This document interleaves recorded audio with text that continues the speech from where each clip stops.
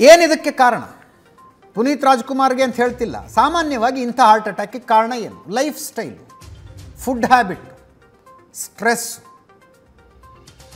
ಜೀವನ ಕ್ರಮ, ಆಹಾರ ಕ್ರಮ, ಒತ್ತಡ. ಇದು ಕಾರಣ. ಇದರ ಪೈಕಿ ಪುನೀತ್ ರಾಜ್ಕುಮಾರ್ಗೆ ಯಾವುದಿತ್ತು ಜೀವನ ಕ್ರಮ ಕೆಟ್ಟದಾಗಿತ್ತ? ಇಲ್ಲ. ಆಹಾರ ಕ್ರಮ, ಅವು ನ್ಯೂಟ್ರಿಷನಿಸ್ಟ್ಗಳನ್ನು ಕೇಳ್ಕೊಂಡು ಊಟ ಮಾಡಬಲ್ಲಂಥ ಲೆವೆಲ್ನಲ್ಲಿದ್ದಂಥವರು ಅದರ ಜೊತೆಗೆ ಜನರಿಗೆ ಬಹಳ ಕಾಳಜಿ ಆಗಿರೋದು ಇದು. ಅತಿ ಹೆಚ್ಚು ವ್ಯಾಯಾಮ ಮಾಡೋದ್ರಿಂದ ಇಂಥ ಹಾರ್ಟ್ ಅಟ್ಯಾಕ್ ಆಗಬಹುದು. ಅತಿ ಹೆಚ್ಚಿನ ವ್ಯಾಯಾಮ. ದಿನಕ್ಕೆ ನಾಲ್ಕು, ಐದು ತಾಸು ಎಕ್ಸಸೈಸ್ ಮಾಡ್ತೀವಿ. ಅನ್ನುವಂಥವರಿಗೆ ಈ ಹಾರ್ಟ್ ಅಟ್ಯಾಕ್ ಆಗೋ ಸಾಧ್ಯತೆ ಜಾಸ್ತಿ. ಅದರ ಜೊತೆಗೆ ಕೌಟುಂಬಿಕ ಹಿನ್ನೆಲೆ ಕೂಡ ಬರುತ್ತೆ. ಜೀನ್ಸ್ ತಂದೆ, ತಾಯಿಯಿಂದ ನಮಗೆ ಪಿತ್ರಾರ್ಜಿತವಾದ ಆಸ್ತಿ ಬರುತ್ತೋ, ಅಂತಸ್ತು ಬರುತ್ತೋ, ಏನು ಬರುತ್ತೋ, ಬಟ್ ಕೆಲವು ಕಾಯಿಲೆಗಳಂತೂ ಬರ್ತವೆ. ಅದರ ಪೈಕಿ ಒಂದು ಹಾರ್ಟ್ ರಿಲೇಟೆಡ್ ಏಲ್ಮೆಂಟ್ಸ್ ಕೌಟುಂಬಿಕ ಕಾರಣ ಕೂಡ ಪ್ಲೇ ಆಗುತ್ತೆ. ಐಸೋಮೆಟ್ರಿಕ್ ಎಕ್ಸಸೈಸ್ ಅಂತ ಕಳಿ ಕರಿತೀವಿ. ಮಸಲ್ ಬಿಲ್ಡಿಂಗ್ ಎಕ್ಸಸೈಸ್ ಅಂದರೆ ಮಸಲ್ ಮೇಲೆ ತೀವ್ರವಾದ ಒತ್ತಡ ಹಾಕುವಂಥದ್ದು. ಹೆವಿ ವೇಟ್ ಲಿಫ್ಟ್ ಮಾಡೋದು ಡಂಬಲ್ಸ್ ಮಾಡಿದೆ ಪುಷಪ್ಸ್ ಮಾಡಿದೆ. ಈ ರೀತಿಯಾದಂಥ ಎಕ್ಸಸೈಸ್ಗಳು ಕೂಡ ಈ ಪರ್ಟಿಕ್ಯುಲರ್ ಹಾರ್ಟ್ ಅಟ್ಯಾಕ್ಗೆ ಕಾರಣ ಆಗಬಹುದು. ತಜ್ಞ ವೈದ್ಯರು ಹೇಳ್ತಾ ಇರುವಂಥ ಮಾತನ್ನು ಹೇಳ್ತಾ ಇದ್ದೀವಿ ನಾವು. ಐಸೋಮೆಟ್ರಿಕ್ಕಿಂತ ಐಸೋಟಾನಿಕ್ ಎಕ್ಸಸೈಸ್ ಒಳ್ಳೆಯದು ಮೂರ್ನಾಲ್ಕು ತಾಸು ನಿರಂತರವಾಗಿ ಪ್ರತಿ ದಿವಸ ಎಕ್ಸಸೈಸ್ ಮಾಡೋದು, ಪ್ರೋಟೀನ್ ಶೇಕ್ ಕುಡಿಯೋದು, ತುಂಬ ರೆಡ್ ಮೀಟ್ ತಿನ್ನುವಂಥದ್ದು, ಕೆಂಪು ಮಾಂಸವನ್ನು ಅತಿಯಾಗಿ ಸೇವನೆ ಮಾಡುವಂಥದ್ದು ಈ ಹಾರ್ಟ್ ಅಟ್ಯಾಕಿಗೆ ಕಾರಣ ಆಗಬಹುದು. ಐಸೋಮೆಟ್ರಿಕ್ಕಿಂತ ಐಸೋಟೋನಿಕ್ ಎಕ್ಸಸೈಸ್ಗಳನ್ನು ಮಾಡೋದು ಒಳ್ಳೆಯದು ಐಸೋಟೋನಿಕ್ ಎಕ್ಸಸೈಸ್ನಲ್ಲಿ ಯಾವುದ್ಯಾವ್ದು ಬರುತ್ತೆ? ವಾಕ್ ಮಾಡೋದು, ಸೈಕ್ಲಿಂಗ್ ಮಾಡೋದು ಲಘು ವ್ಯಾಯಾಮಗಳು ತುಂಬ ದೇಹಕ್ಕೆ ತುಂಬ ಸ್ಟ್ರೆಸ್ ಮಾಡ್ಕೊಂಡು ಮಾಡುವಂಥ ವ್ಯಾಯಾಮಗಳಲ್ಲ. ಅಂಥ ಎಕ್ಸಸೈಸ್ಗಳನ್ನು ಮಾಡೋದು ಒಳ್ಳೆಯದು ಅಂತ ಡಾಕ್ಟರ್ಗಳು ಹೇಳ್ತಾ ಇದ್ದಾರೆ. ಮಸಲ್ ಮೇಲೆ ತುಂಬ ಪ್ರೆಷರ್ ಹಾಕಬೇಡಿ.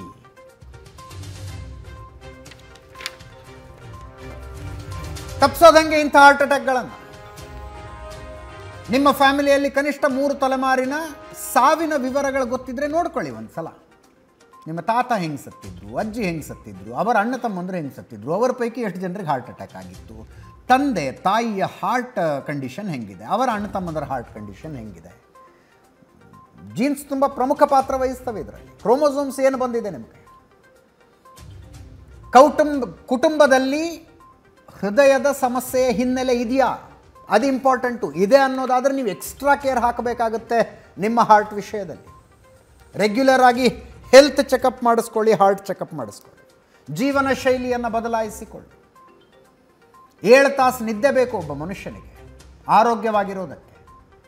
ರೆಗ್ಯುಲರ್ ಎಕ್ಸಸೈಸ್ ಬೇಕು, ಆದರೆ ಯಾವ ಎಕ್ಸಸೈಸು ಎಷ್ಟು ಎಕ್ಸಸೈಸು ಅನ್ನೋದನ್ನು ಹೇಳಿದೆ ಜೊತೆಗೆ ಸಕ್ಕರೆಯ ಪ್ರಮಾಣ ಮತ್ತು ಕೊಬ್ಬಿನ ಅಂಶ ಡಯಾಬಿಟಿಸ್ ಮತ್ತು ಕೊಲೆಸ್ಟ್ರಾಲ್ ಎರಡನ್ನೂ ನಿಯಂತ್ರಣದಲ್ಲಿಟ್ಕೊಳ್ಳಿ. ಧೂಮ್ರಪಾನ ಬೇಡ, ಮದ್ಯಪಾನ ಬೇಡ.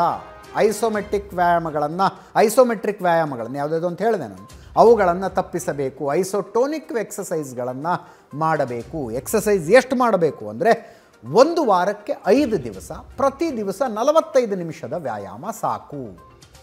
ವಾರಕ್ಕೆ ಐದು ದಿವಸ, ಪ್ರತಿ ದಿವಸ ನಲವತ್ತೈದು ನಿಮಿಷ. ಸಂಪೂರ್ಣವಾಗಿ ಪಾಲಿಷ್ ಮಾಡಿದ ಅಕ್ಕಿ ಬೇಡ. ಅನ್ನ ಅಂದರೆ ಬೆಳ್ಳಗಿರಬೇಕು. ಸ್ವಲ್ಪ ಕೆಂಪಗಿದ್ರೂ ನಾವು ತಿನ್ನೋ ಲೆವೆಲ್ಲಿನ ಅನ್ನ ಅಲ್ಲ ಅನ್ನೋ ಮೂರ್ಖತನದಿಂದ ಹೊರಗೆ ಬನ್ನಿ. ತಜ್ಞ ವೈದ್ಯರು ಹೇಳ್ತಾ ಇರುವಂಥದ್ದು. ಹೃದಯಾಘಾತಕ್ಕೆ ಅತಿ ಹೆಚ್ಚು ಕಾಂಟ್ರಿಬ್ಯೂಟ್ ಮಾಡುವಂಥದ್ದು ಪಾಲಿಶ್ಡ್ ರೈಸ್ ಅಂತ ಹೇಳ್ತಾ ಇದ್ದಾರೆ. ಸಿಂಪ್ಟಮ್ಸ್ ಏನು ಬರುತ್ತೆ? ಸಾಮಾನ್ಯವಾಗಿ ಎದೆ ನೋವು, ಎದೆ ಭಾರ ಅನಿಸೋದು ಉಸಿರಾಡೋದಕ್ಕೆ ಕಷ್ಟ ಆಗುತ್ತೆ. ಕೆಮ್ಮು ಬರುತ್ತೆ, ಸುಸ್ತಾಗತ್ತೆ. ಹೊಟ್ಟೆ, ಹೆಗಲು, ಕುತ್ತಿಗೆ, ಭುಜ, ಕೈ, ದವಡೆ ತನಕ ನೋವು ಬರುತ್ತೆ. ವಿಶೇಷವಾಗಿ ಎಡಭಾಗದಲ್ಲಿ, ದೇಹದ ಎಡಭಾಗದಲ್ಲಿ ಹೊಟ್ಟೆಯಿಂದ ಹಿಡಿದು ಕೆಳ ದವಡೆಯ ತನಕ ಪೇನ್ ಬರುತ್ತೆ. ನಾಡಿ ಮಿಡಿತ ಕಡಿಮೆ ಆಗುತ್ತೆ, ಪಲ್ಸ್ ಕಡಿಮೆ ಆಗುತ್ತೆ. ಕೆಲವರಲ್ಲಿ ಏಕಾಏಕಿ ಬೆವರು ಬರುತ್ತೆ, ವಾಮಿಟಿಂಗ್ ಸೆನ್ಸೇಷನ್ ಆಗುತ್ತೆ, ಕೆಲವರಿಗೆ ವಾಮಿಟ್ ಕೂಡ ಆಗುತ್ತೆ. ಅದನ್ನು ಬಹಳ ಜನ ಆ್ಯಸಿಡಿಟಿ ಆ್ಯಸಿಡಿಟಿ ಅಂದ್ಕೊಂಡು ಬಿಡ್ತಾರೆ. ತಲೆ ಸುತ್ತೋದು, ಜ್ಞಾನ ತಪ್ಪೋದು. Classic symptoms of heart attack ಇಂಥ ಸಿಂಪ್ಟಮ್ಗಳ ಬಗ್ಗೆ ಗಮನ ಇರಲಿ. ಒಬ್ಬೊಬ್ಬರ ದೇಹನೂ ಒಂದೊಂದು ಥರದ ಸಿಂಪ್ಟಮ್ ಕೊಡುತ್ತೆ.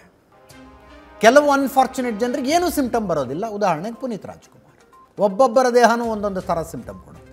ಕೆಲವರಿಗೆ ಸಿಂಪ್ಟಮ್ಗಳು ವಿಪರೀತ ಅನಿಸುತ್ತೆ. ಇನ್ನು ಕೆಲವರಿಗೆ ಏನೋ ಸಣ್ಣದೇನೋ ಆಗಿದೆ ಅಂತ ಅನಿಸುತ್ತೆ. ನೆಗ್ಲೆಕ್ಟ್ ಮಾಡೋದು ಬೇಡ. ಪುನೀತ್ ರಾಜ್ಕುಮಾರ್ ಸಾವಿನ ನಂತರ ಎಕ್ಸಸೈಸ್ ಬಗ್ಗೆ ಒಂದು ದೊಡ್ಡ ಚರ್ಚೆ ಶುರುವಾಗಿದೆ. ವ್ಯಾಯಾಮ ಬೇಕಾ? ಎಷ್ಟು ಬೇಕು? ಎಷ್ಟು ಹೊತ್ತು ಮಾಡಬೇಕು? ಯಾವ ವ್ಯಾಯಾಮ ಮಾಡಬೇಕು? ಇನ್ನೊಂದು ಚರ್ಚೆ ಶುರುವಾಗಿರುವಂಥದ್ದು, ಒಬ್ಬ ಆರೋಗ್ಯವಂತ ಮನುಷ್ಯನ ಹೃದಯ ಬಡಿತ ಎಷ್ಟಿರಬೇಕು ಅಂತ. ಹೃದಯ ಬಡಿತ ಎಷ್ಟಿರಬೇಕು ಒಬ್ಬ ಆರೋಗ್ಯವಂತ ಮನುಷ್ಯ ಒಂದು ಒಂದು ಒಂದು ಲೆಕ್ಕಾಚಾರ ಹೇಳ್ತಾ ಇದ್ದ ಇನ್ನೂರ ಇಪ್ಪತ್ತರಲ್ಲಿ ನಿಮ್ಮ ವಯಸ್ಸು ಎಷ್ಟಿದೆಯೋ ಅಷ್ಟನ್ನು ಕಳೀರಿ. ಟೋಟಲಾಗಿ ಎಷ್ಟು ಬರುತ್ತಲ್ಲ? ಆ ಸಂಖ್ಯೆಯನ್ನು ಹೈಯೆಸ್ಟ್ ಹಾರ್ಟ್ ರೇಟ್ ದಾಟಬಾರದು ನೀವು. ಏನು ಕೆಲಸ ಮಾಡಿದ್ರು ಆ ಹಾರ್ಟ್ ರೇಟ್ ದಾಟಬಾರ್ದು. ಉದಾಹರಣೆಗೆ ಇನ್ನೂರ ಇಪ್ಪತ್ತು ವಯಸ್ಸು ಮೂವತ್ತೈದು ಅಂದ್ಕೊಳ್ಳಿ ಇನ್ನೂರ ಇಪ್ಪತ್ತರಲ್ಲಿ ಮೂವತ್ತೈದು ಕಳೆದ್ರೆ ನೂರ ಎಂಬತ್ತೈದು ಬಂತು. ಯಾವ ಕಾರಣಕ್ಕೂ ನೂರ ಎಂಬತ್ತೈದನ್ನು ನಿಮ್ಮ ಹಾರ್ಟ್ ರೇಟ್ ದಾಟಬಾರ್ದು.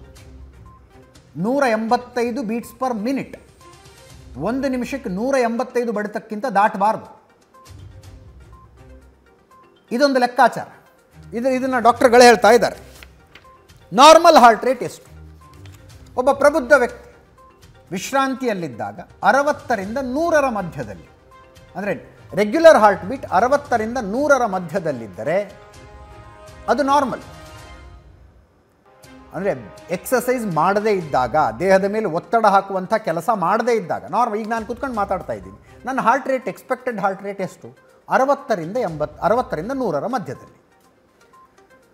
ತುಂಬ ವ್ಯಾಯಾಮ ಮಾಡುವಾಗ ಎಷ್ಟರ ತನಕ ಏರ್ಬೋದು? ಉದಾಹರಣೆಗೆ ನಿಮ್ಮ ಆವರೇಜ್ ಹಾರ್ಟ್ ರೇಟ್ ಎಂಬತ್ತಿದೆ ಅಂದರೆ ಅದರ ಎಂಬತ್ತು ಪರ್ಸೆಂಟ್ ಜಾಸ್ತಿ ಆಗುವಷ್ಟು ಎಕ್ಸಸೈಸ್ ನೀವು ಮಾಡಬಹುದು.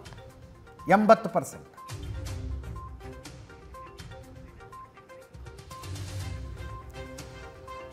ಉದಾಹರಣೆಗೆ ನಿಮ್ಮ ಹಾರ್ಟ್ ರೇಟ್ ಎಂಬತ್ತಿದೆ ಅಂದರೆ ಎಂಬತ್ತರ ಎಂಬತ್ತು ಪರ್ಸೆಂಟ್ ಜಾಸ್ತಿ ಆಗುವಷ್ಟು ಮಾಡ್ಬೋದು. ಎಂಬತ್ತರ ನೂರು ಪರ್ಸೆಂಟ್ ಜಾಸ್ತಿ ಅಂದರೆ ನೂರ ಅರವತ್ತು, ನೂರ ಅರವತ್ತಕ್ಕೆಲ್ಲ ಹೋಗಂಗಿಲ್ಲ. ನೂರ ನಲವತ್ತರ ಒಳಗಡೆ ನಿಮ್ಮ ಹಾರ್ಟ್ ರೇಟ್ ಇರಬೇಕು, ಏನೇ ವ್ಯಾಯಾಮ ಮಾಡೋದು ಇದು ಎಲ್ಲರಿಗೂ ಅಪ್ಲೈ ಆಗುವಂಥದ್ದಲ್ಲ. ನಿಮಗೆ ಸ್ಮೋಕಿಂಗ್ ಅಭ್ಯಾಸ ಇದ್ದರೆ ಸಿಗರೇಟು ಸೇದುವ ಅಭ್ಯಾಸ ಇದ್ದರೆ ನಿಮ್ಮ ರೆಗ್ಯುಲರ್ ಹಾರ್ಟ್ ರೇಟಿನ ಐವತ್ತರಿಂದ ಅರವತ್ತು ಪರ್ಸೆಂಟ್ ಮಾತ್ರ ಜಾಸ್ತಿ ಹಾರ್ಟ್ ರೇಟ್ ಆಗುವಷ್ಟು ವ್ಯಾಯಾಮ ನೀವು ಮಾಡಬೇಕು. ಐವತ್ತರಿಂದ ಅರವತ್ತು ಪರ್ಸೆಂಟ್ ಅಂದರೆ ಎಷ್ಟು? ನಿಮ್ಮ ರೆಗ್ ಸಾಮಾನ್ಯವಾಗಿ ರೆಸ್ಟ್ನಲ್ಲಿದ್ದಾಗ ನಿಮ್ಮ ಹೃದಯ ಬಡಿತ ಎಂಬತ್ತು ಬಡಿತ ಪರ್ ಮಿನಿಟ್ ಇದೆ ಅಂತಂದರೆ ಏಯ್ಟಿ ಬೀಟ್ಸ್ ಪರ್ ಮಿನಿಟ್ ಇದೆ ಅಂದರೆ, ನೀವು ಸ್ಮೋಕ್ ಮಾಡ್ತಾ ಇದ್ದರೆ ವ್ಯಾಯಾಮ ಮಾಡುವಾಗ ನಿಮ್ಮ ಹೃದಯ ಬಡಿತ ನೂರ ಇಪ್ಪತ್ತಕ್ಕಿಂತ ಜಾಸ್ತಿ ಹೋಗೋದಕ್ಕಾಗೋದಿಲ್ಲ. ಹೋಗಬಾರ್ದು. ನೂರ ಇಪ್ಪತ್ತರ ತನಕ. ಆ ಲೆಕ್ಕಾಚಾರ ಹಾಕಿಕೊಳ್ಳಿ. ಗರಿಷ್ಠ eighty five percent.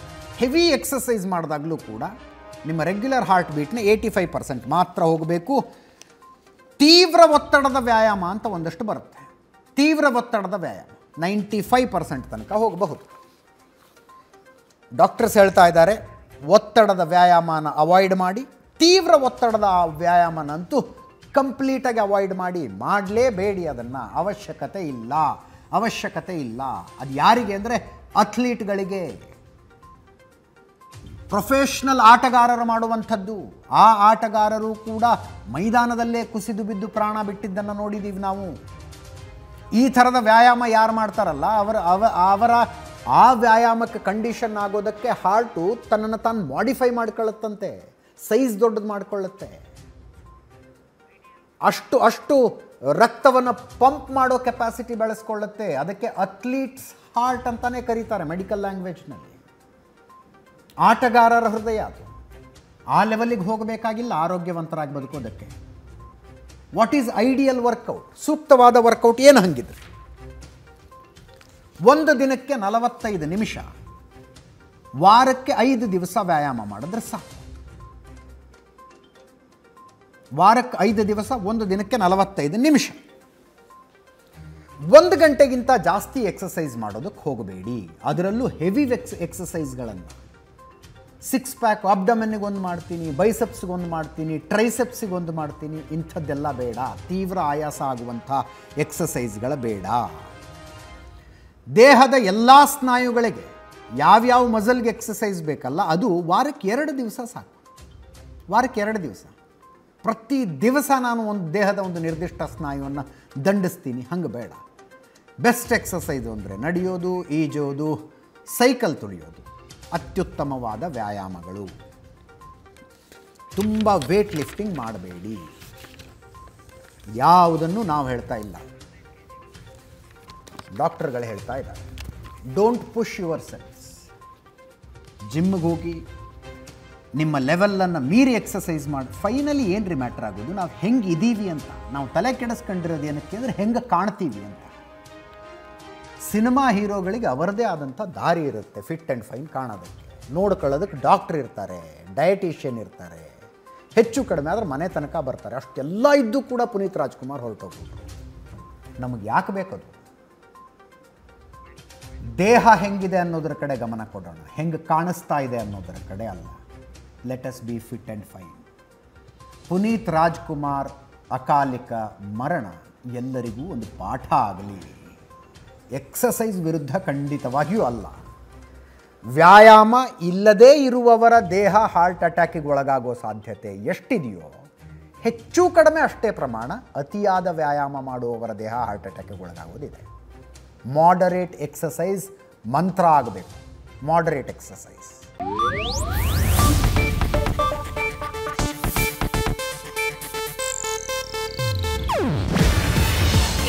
Asianet news network ಪ್ರಸ್ತುತಿ. ನೀವು ನೋಡ್ತಿದ್ದೀರಾ ಏಷ್ಯಾನೆಟ್ ಸುವರ್ಣ ನ್ಯೂಸ್.